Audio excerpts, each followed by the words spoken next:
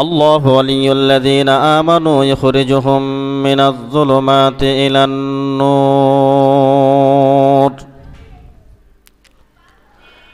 الله ولي الذين آمنوا يخرجهم من الظلمات إلى النور.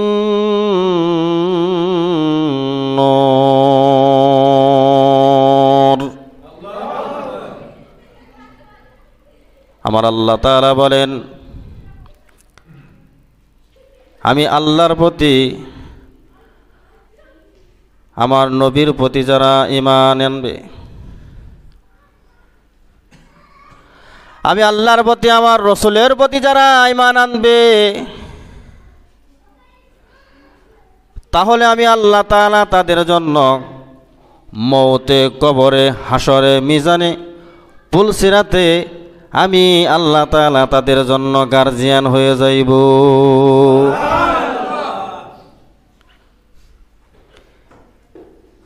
কঠিন একটা জায়গা, কঠিন একটা সময়, মৌতের সময়। কবরে ভয়ঙ্কর হাসরের ময়দানে।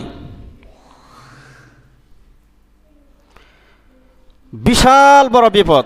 এই বিপদের সময় যদি আমার আল্লাহ তাআলা গার্জিয়ান হয়ে যায় তাহলে আর তার কোনো টেনশন নাই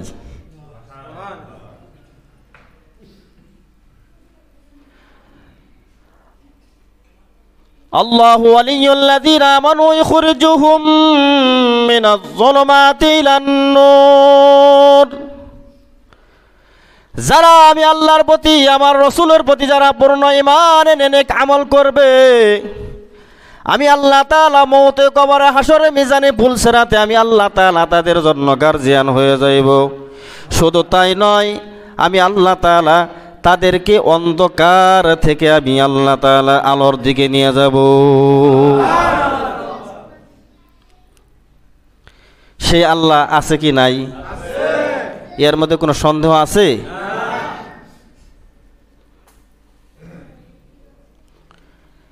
আমার আল্লাহ তাআলা আছেন এর মধ্যে কোনো সন্দেহ নাই।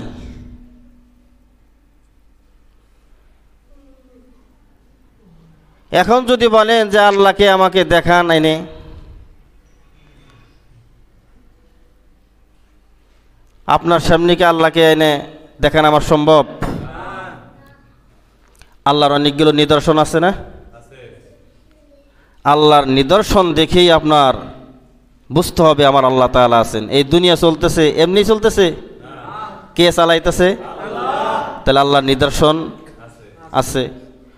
সূর্য আল্লাহর নিদর্শন, চন্দ্র আল্লাহর নিদর্শন, আসমান আল্লাহর নিদর্শন, জমিন আল্লাহর নিদর্শন।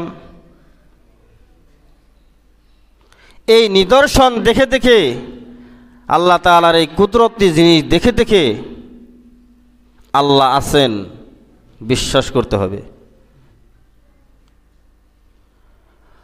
পয়গম্বর ইব্রাহিম আলাইসাল্লাম আল্লাহ তাআলা নিদর্শন দেখে আমার আল্লাহর পরিচয় পেয়ে গেলেন, আমার আল্লাহর সন্ধান পেয়ে গেলেন। মুসা পয়গম্বর আল্লাহ নিদর্শন দেখে আল্লাহর পরিচয় পেয়ে গেলেন, আল্লাহর সন্ধান পেয়ে গেলেন। এরকম প্রত্যেকটা নবী আল্লাহর নিদর্শন দেখে আল্লাহর কুদরতি জিনিস দেখে তারা আল্লাহর পরিচয় পেয়ে গেলেন।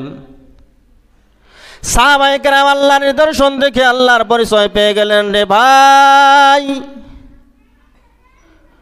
প্রত্যেক বলি আল্লাহ, প্রত্যেক সাহাবাইকেরাম আল্লাহর নিদর্শনগুলো দেখে দেখে তারা আল্লাহর পরিচয় পেয়ে গেলেন। আর যে ব্যক্তি আল্লাহর পরিচয় পেয়ে গেছে তাদের আমল করা অত্যন্ত সহজ হয়ে গেছে, ঠিক কিনা বলেন? যারাই আল্লাহর পরিচয় পেয়ে গেছে, তাদের কি? আমল করা সহজ হয়ে গেছে। আল্লাহর পরিচয় যারা পেয়েছে, তারা কোনোদিন নামাজ ছাড়তে পারে নাই, তারা রোজা ছাড়তে পারে নাই, তারা আল্লাহর হুকুম থেকে গাফেল হতে পারে নাই। কারণ আল্লাহর সন্ধান তারা পেয়ে গেছে। এখন যদি আমরা বলি যে আল্লাহকে আইনা দেখান তাহলে কিছু গুতা দিয়ে আর কিছু পিটানি দিয়ে তাহলে দেখান সম্ভব হবে। আল্লাহর নিদর্শন দেখার পরেও যদি বলেন যে ইমাম সাহেব, কি হুজুর সাহেব, আল্লাহ কোথায় আছেন আমার একটু আইনা দেখান। আল্লাহ তালার এত নিদর্শন দেখার পরে আল্লাহর জিনিস বুক করতেছ, আল্লাহর জিনিস খাইতেছ, আল্লাহর জমিন দাহারতেছ, আল্লাহর সূর্যের তাপ গ্রহণ করতেছ চন্দ্রের আলো দেখতেছ, বিশুদ্ধ পানি পান করতেছ মুক্ত বাতাস গ্রহণ করতেছ এর পরেও যদি বলো ইমাম সাহেব, আমাকে আল্লাহকে দেখাও, তাহলে কি গুতা ছাড়া আর পিটানি ছাড়া দেখান সম্ভব না?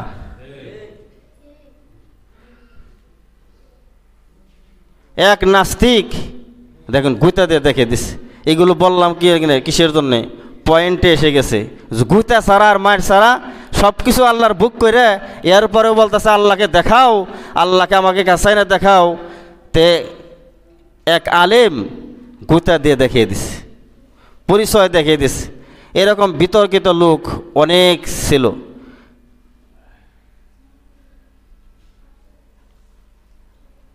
এক নাস্তিক একজন আলেমকে বলল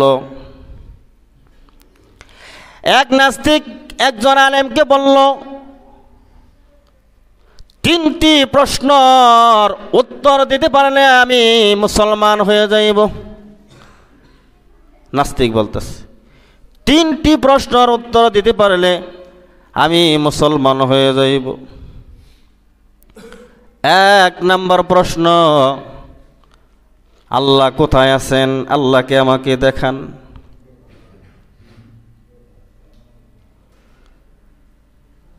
শুনেছি জিনজাতি নাকি? জিনজাতিকে আল্লাহ তাআলা হাসরের ময়দানে তাদেরকে শাস্তি দেবেন। জিনজাতি হলো আগুনের তৈরি। আগুন কীভাবে আগুন দ্বারা শাস্তি দিবে? নাস্তিক বলতেছে। আর যা কিছু হয়, সব নাকি আল্লাহর হুকুমে হয়। তাহলে তো পাপ কাজ করতেছি, এটাও তো আল্লাহ তাআলার হুকুমেই হয়। তিনটি প্রশ্ন করল। এই নাস্তিক আলেমের কাছে তিনটি প্রশ্ন করল। ওই আলেম, তিনটি প্রশ্ন শোনার পরে কোনো কথা নাই। নীরব ভূমিকা পালন করলেন। নীরব ভূমিকা পালন করার পরে মাটির একটা ঢিল হাতে নিয়ে কপালের মধ্যে বসিয়ে দিলেন। নাস্তিক বড় ব্যথা পাইল। ব্যথা পাওয়ার পরে একজন কাজী সাহেবের কাছে এই আলামের জন্য বিচার চাইলেন যে কাজী সাহেব, আমি এই আলেমকে তিনটি প্রশ্ন করেছি। প্রশ্নের জবাব না দিয়ে তিনি আমাকে এমনভাবে আঘাত করেছেন, মাটির ঢিল মেরেছেন, কপালের মধ্যে আমি বড় ব্যথা পাইছি। কাজী সাহেব আলেমকে ডাকলেন আলিম আইসা হাজির হয়ে গেল, কি খবর? তাকে কি আপনি মারছেন নাকি ঢিল মারছেন বলল হা কী জন্য মারছেন? কি ব্যাপার? আলেম বলল, ও কাজী সাহেব, এই লোকটি আমাকে প্রশ্ন করেছে, আল্লাহ কোথায় আছেন? আল্লাহকে আমাকে দেখান। আমি তাকে ঢিল মেরেছি, সেই ঢিলের মধ্যে ব্যথা পাইছে। ব্যথা কোথায়? আমাকে একটু দেখাক, সম্ভব নাকি? এই ব্যথা দেখাইতে পারবেন? উত্তর সুন্দর হয় নাই? জোরে কন্যাকে উত্তর সুন্দর হয় নাই? ব্যথা কি দেখান সম্ভব নাকি কোনো ডাক্তার, কবিরাজ খেয়েও দেখাইতে পারবে না। তা আমি যে ডেল মারছি, তার ব্যথা কোথায়? ব্যথা দেখাক। আর আগুন, আগুনের তৈরি জিন এই জিনদেরকে ভয়ঙ্কর হাসরের ময়দানে নাকি শাস্তি দিবে আগুন দ্বারা? আগুন কীভাবে আগুনকে শাস্তি দিবে? ও আরেন সাহেব বললেন, দুই নম্বর ফাইনাল উত্তর হইল, আল্লাহ তাআলা মানুষ বানাইছেন মাটি দ্বারা। আমি মাটি দ্বারা তাকে ঢিল মারেছি। মাটি দ্বারা ঢিল মারার কারণে মাটির তৈরি সে কীভাবে সে ব্যথা পাইল? জিন যখন আগুনের তৈরি, আগুন দ্বারা আগুনকে শাস্তি দিবে, কীভাবে সে প্রশ্ন করল? তাহলে সে মাটির দ্বারা সৃষ্টি। আমি মাটি দ্বারা তারা আঘাত করছি, সে আবার ব্যথা পাইল কেন? সুন্দর উত্তর হয় নাই? তিন নম্বর প্রশ্ন হলো, যা কিছু পৃথিবীতে হইতেছে, সব নাকি আল্লাহ তালার হুকুমে হইতেছে। আমিও তো আল্লাহ তালার হুকুমে তাকে ঢিল মেরেছি। সে আবার ব্যথা পাইলো কেন? সে আবার মামলা করল কেন আপনার কাছে? আপনার কাছে কেন বিচার চাইল? আল্লাহ তালার সব কিছু ভোগ করার করে সব কিছু আমরা খাইতেছি, আল্লাহর দুনিয়ার বসবাস করতেছি। আমার দাদার কোনো সম্পত্তি নাই, আমার দাদার কোনো জায়গা নাই। সব আল্লাহ তালার জায়গা। এই দুনিয়াটা হলে আমার আল্লাহ তালার এই আল্লাহ তালার দুনিয়ার মধ্যে থেকে আমি সব কিছু আল্লাহ তালার ভোগ করতেছি। এরপরেও যদি আমি বলি যে আল্লাহ কোথায় আমাকে আল্লাহকে এনে দেখান, এই জন্যে বলছি মায়ের আর গোতা ছাড়া তাকে বোঝানোর সম্ভব না, ঠিক কিনা বলেন? অনবীর আমার আল্লাহ তানাম ভয়ঙ্কর হাসনের ময়দানে আমল ছাড়া কিছুই দেখবেন না। কার কতটুকু সম্পদ আছে, কয়তলা বিল্ডিংয়ের মালিক আছে, কয়টা ঘর আছে, আমার আল্লাহ তালা দেখবেন না। আমল যার মজবুত আছে, আমল যার শক্তিশালী আছে, সেই কালকে আমাদের ময়দানে হাসরের ময়দানে নিস্তারভাবে সেই ওখান থেকে সার পাইবে। নবী করিম আলাইহি ওয়াসাল্লাম তার পরিবারদেরকে বললেন ও ফাতেমা, ও হাসান, ও হুসাইন, ও আলী, আমার ওপর নির্ভর করো না। আমলকে মজবুত করা, আমলকে শক্তিশালী করো। যার আমল শক্তিশালী হবে, যার আমল মজবুত হইবে, সেই ভয়ঙ্কর হাসরের ময়দান থেকে সার পাইবে। আমল যার মজবুত হইবে না, আমল যার কাঁচা হয়ে যাবে, আমল যার দুর্বল হয়ে যাবে সে ভয়ঙ্কর হাসরের ময়দানে কঠিন বিপদের মধ্যে পড়ে যাবে। হাসরের ময়দানে তোমাদের কি অবস্থা হইবে আমি নবী জানি না। আমি নবী ইহাও জানি না। ভয়ঙ্কর হাসরের ময়দানে আমি নবীর কি অবস্থা হইবি। এত বড় পাওয়ারফুল নবী। ভয়ঙ্কর হাসরের ময়দানে আমার নবীর কি হবে আমার নবীও জানেন না। তাহলে আমাদের কি উপায় বলেন? আমাদের কোনো খবর আছে? হ্যাঁ? যেই নবীর জন্য আসমান, জমিন, লোহ, কলম, আকাশ, বাতাস খালবিল নদী, নালা, অর্থাৎ পৃথিবীতে দুই চোখে যা কিছু দেখতেছেন, সব আমার নবীর কারণে আল্লাহ তাআলা সৃষ্টি করেছেন। সেই নবীরই ভয়ঙ্কর হাসরের ময়দানে কি উপায় হইবে আমার নবী জানেন না। এবার চিন্তা করে দেখেন যে আমাদের কি হালাত হইবে, আমাদের কি অবস্থা হইবে। আমাদের সিরিয়ালটা কত দূরে থাকবে?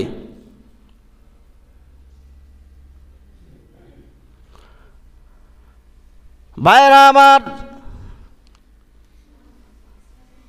নবী করিম ওয়াসাল্লামের কলিজার টুকরা হজরতে ফাতেমা রাদিয়াল্লাহু তাআলা আনহা, তার স্বামী আলীকে বললেন, ও স্বামী আমার আমার মৃত্যু গনি আসছে আমি আর দুনিয়াতে বেশি দিন থাকতে পারব না। আমি যখন দুনিয়ার থেকে ইন্তেকাল করব, আমি যখন দুনিয়ার থেকে বিদায় হয়ে যাইব। অল্প কয়েকজন সাহাবিদেরকে নিয়ে গভীর রাত্রে আমাকে দাফন করে দিবেন। গভীর রাত্রে আমাকে দাফন করে দেবেন অল্প কয়েকজন সাহাবি নিয়ে।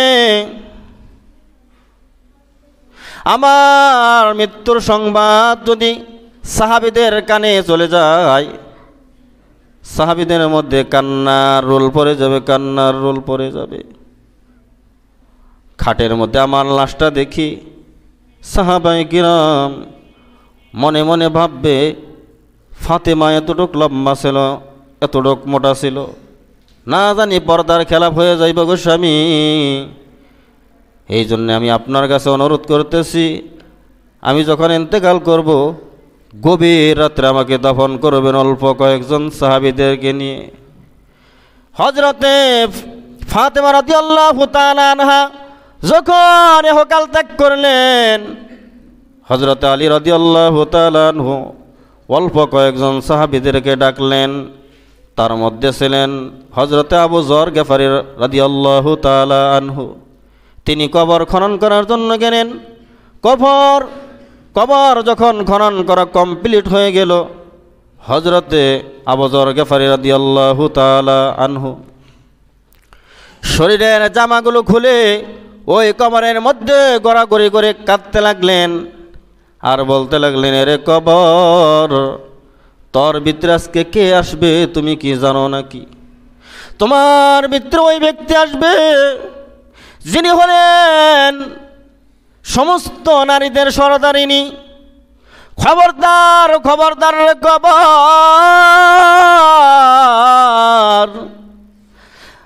তার সাথে তুমি তুমি করতে পারবা না। কবর থেকে কোনো আওয়াজ নাই, কোনো সাওয়ার নাই। হজরত আবুজর গেফারি রদি আল্লাহ তালানহু কবরকে ডেকে বললেন, এরে কবর, তুমি কেন কথা বলো না?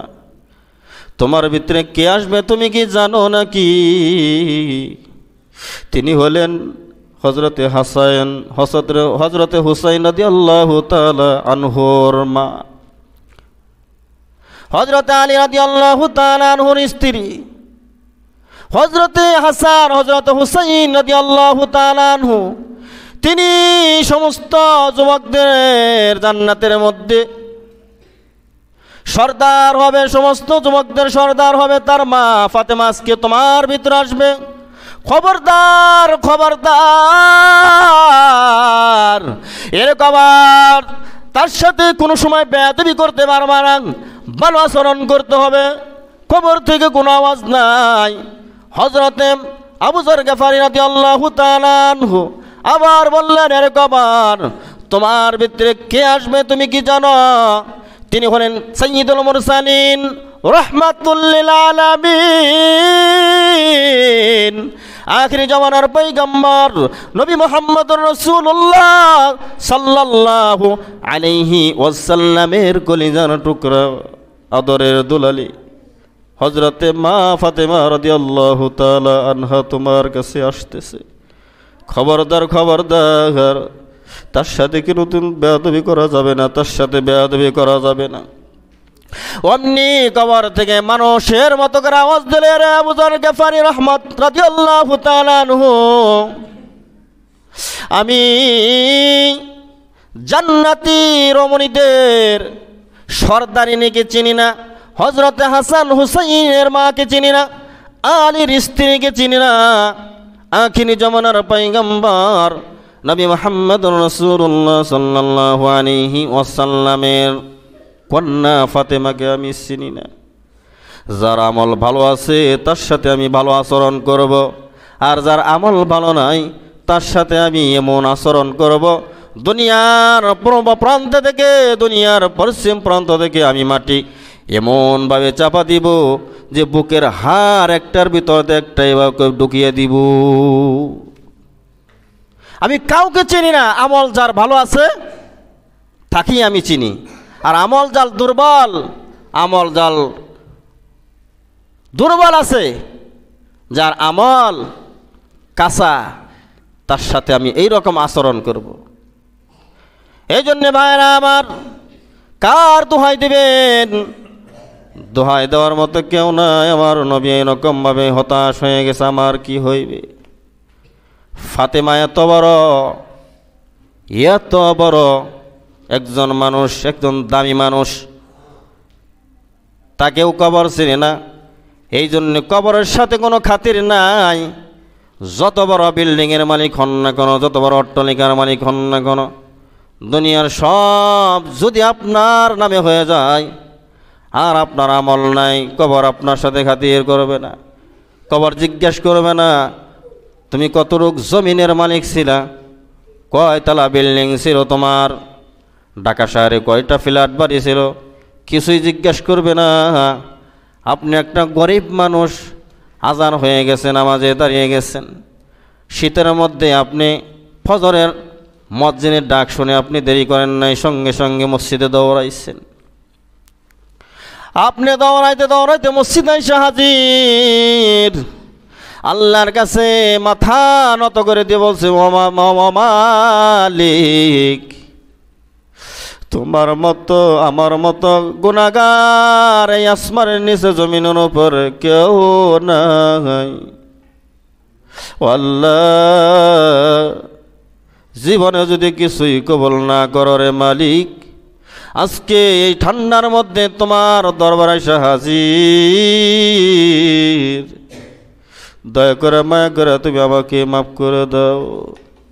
এইরকম ভাবে যদি আপনি, এই ঠান্ডার মধ্যে যদি আপনি অজু করে যদি মসজিদে আসতে পারেন, আর মা বোনেরা যারা আছে, অজু করে যারা এরকম ঘরের ভিতরে নামাজের মধ্যে দাঁড়িয়ে যাবে, ভয়ঙ্কর হাসনের ময়দানে এই জমিন তার জন্য সাক্ষী হয়ে যাবে।